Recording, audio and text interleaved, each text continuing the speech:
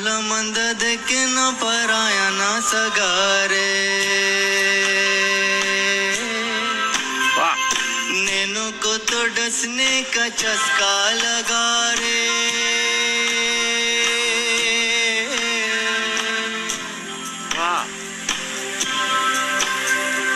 भला मंद देख न पराया ना सगारे। नैनो को तो डसने का चस्का लगा रे। नैनो का देर नशीला रे। नैनो का देर नशीला। नैनो का देर नशीला नैनो का देर नशीला। बादलों में सतरंगिया बोवे तलक बरसावे। बादलों में सतरंगिया बोवे नैना बम्बर कर देंगे नैना ठग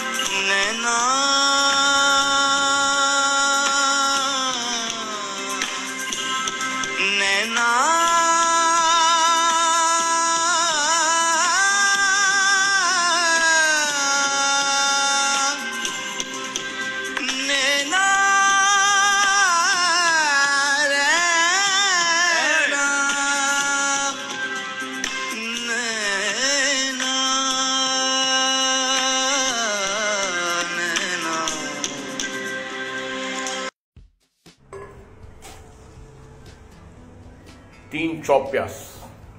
प्याज जैसे हल्के बादामी हो जाएगी, इसमें डालेंगे हरी मिर्च, अदरक और लहसुन का पेस्ट।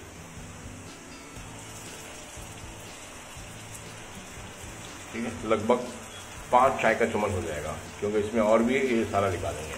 ठीक है? उसमें डालेंगे आधा चम्मच हल्दी turmeric powder, chilli powder one spoon अब इसको घुमा लेंगे। इसको भून लेंगे दो तीन मिनट अच्छे से। इसमें डालेंगे इसमें एक kilo mutton with bone kilo mutton with bone अब इसको 10 से 12 मिनट अच्छे से भून लेंगे, ठीक है? अच्छे से भूनने के बाद गरम मसाला पाउडर, इसके अंदर नमक है, इसलिए हमने मटन में नमक नहीं डाला है।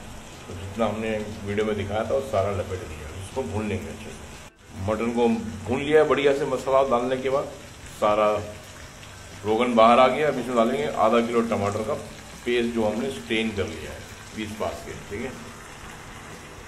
हाफ़ के जी टमाटर का पेस्ट, जूस, पेस्ट, कुछ भी बोल सकते हैं। फ्रेश टमाटर को हमने पेस्ट करके स्ट्रेन कर लिया, ठीक है? अब इसको मिला के सिम पे रखेंगे आधा घंटा गलने तक मटन ठीक है? गैस सिम पे रखना, ढक्कन डाल के। प्याज स्लाइस किया हुआ थोड़ी सी काली मिर्च थोड़ी सी दालचीनी, चार हरी इलायची, एक बड़ी इलायची। बस। इसको सौते करना है। प्याज को ज़्यादा लाल नहीं करना, बस हल्की सी लाल हो जाए, बस है। अभी हमने एक किलो सोना मसूरी राइस को भिगा के रखा था तो सबसे पहले हम राइस को भून लेंगे। ठीक है? अभी राइस में नमक डालना है, राइस के हिसाब से। मटन में हमने ऑलरेडी नमक मसाले में डाला है वो काफ़ी है उसमें, एक किलो मटन ठीक है? ये देसी मुर्गी के अंडे उबाल लिए थे हमने। थोड़ा सा लैम चॉप और नली मैंने निकाल ली है, क्योंकि ये बन रहा है।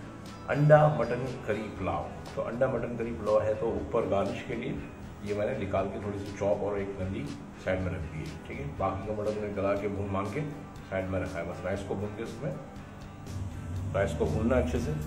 भून के जो मटन हमने गला के रखा है करी के साथ, वो डालना है और थोड़ा पानी डालेंगे और नमक डालेंगे राइस के साथ, ठीक है? धनिया फिर डालेंगे, बाद में लास्ट। इसको अच्छे से हमने भून लिया है। अभी जो हमने मटन भून भान के गला के रख लिया सारा करी के साथ इसमें डालेंगे तो ये बन रहा है अंडा मटन करी पुलाव। ठीक है? तो करी के साथ इसको मिक्स करेंगे और डालेंगे नमक और पानी। अभी ऐड करेंगे। ठीक है? इसको मिक्स करने के बाद इसमें डालेंगे पौन लीटर पानी सेवन फिफ्टी एम एल ठीक है? तो अभी डालेंगे नमक और धनिया। लास्ट में हमने बोला था, वैसे ही राइस के हिसाब से डालना है इसको। ठीक है? एक और ये दो। ठीक है, आपको डाउट है तो आप थोड़ा टेस्ट करके भी डाल सकते हैं बाद में। दम पे लगाने से पहले। थोड़ी सी कोथिमीर ठीक है इसको मिक्स करके। अच्छे से इसको मिक्स करके पकाते रहना नीचे ऊपर। जैसे हमेशा मैं बोलता हूँ ऊपर नीचे करके इसको मिक्स करके करना पकाना या तो नीचे का नरम हो जाएगा और ऊपर का राइस कच्चा रह जाएगा। ठीक है तो उसको मिक्स करते रहना पकता, पकते पकते। ठीक है? है पानी सूखना शुरू हो गया इसका। खाली सेंटर में पानी है, इसको बस मिक्स करना है। और दो तीन मिनट, बस को तवा लगा के दस मिनट फुल फ्लेम पे और पाँच मिनट लो फ्लेम पे, और पाँच मिनट रेस्ट पे। तवे पे ठीक है। तो मटन करी, अंडा पुलाव रेडी हो जाएगा।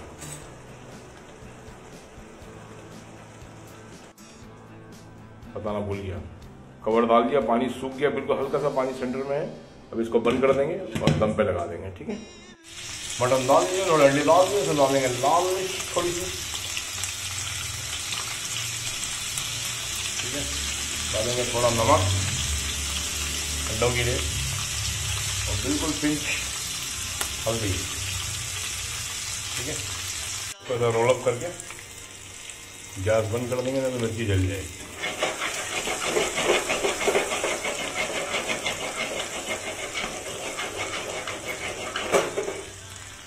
Okay, okay. Evening this side is Master Chef Sheikh Arif Ahmed myself.